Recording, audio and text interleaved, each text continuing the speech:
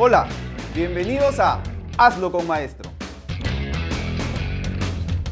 El día de hoy vamos a hablar sobre el Fluid Grout y veremos un ejemplo práctico sobre su uso en una instalación.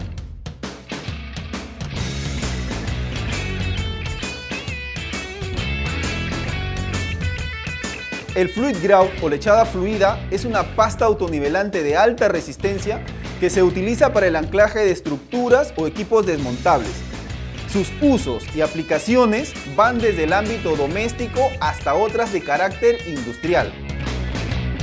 Una vez que tengamos la estructura de concreto armado y los pernos de anclaje insertos dentro de esta, sobresaliendo al exterior la longitud necesaria para el fluid grout, más el espesor de la plancha, más la longitud de tuerca y contratuerca, se debe empezar con el proceso de nivelación de la base. Se debe colocar inicialmente la tuerca y arandela plana, respetando los 5 centímetros de espesor del fluid grout o respetando la nivelación topográfica. Realizamos la limpieza de la superficie del concreto que va a tener contacto con el fluid grout para una mejor adherencia.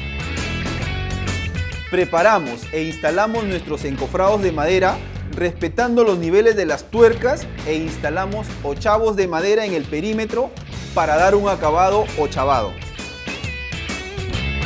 Instalamos la farola o pedestal sobre las arandelas planas niveladas y las fijamos con arandelas planas, arandelas de presión y contratuerca en la parte superior, verificando siempre que la nivelación sea la correcta.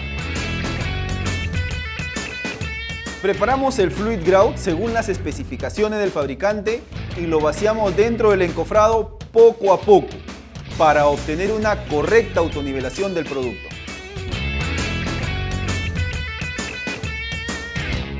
Ahora debemos esperar 24 horas para que el Fluid Grout esté completamente fraguado antes de desencofrarlo y solaquearlo para darle un acabado estético vemos con qué facilidad podemos desmontarlo y montarlo nuevamente.